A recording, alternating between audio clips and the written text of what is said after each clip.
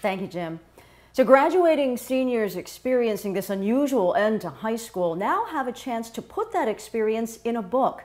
In this story that is positively San Diego, 10 News reporter Vanessa Paz talked to some of the students about the importance of telling their stories while giving back to the community.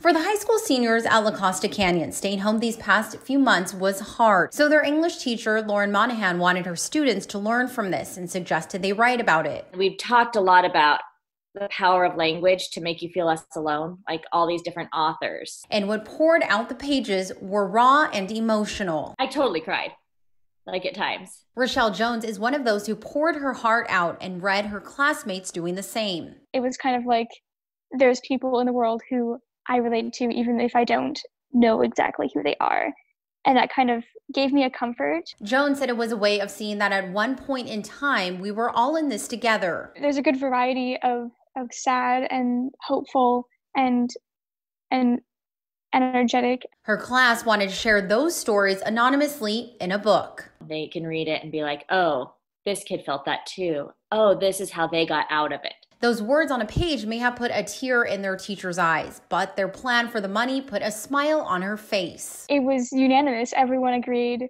to help out people who needed the money instead of helping ourselves. They decided on giving proceeds to San Diego Food Bank, the county's largest hunger relief organization. It's very kind, and I hope that people understand that and, and buy the book, even if just to help out other people. For ABC 10 News, Vanessa Paz.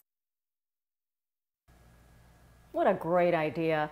You can buy their book, Our Pandemic Senior Year, on Amazon by the end of this week. And if you have a story that is positively San Diego, we would love to hear about it. Just email us at tips at 10news.com.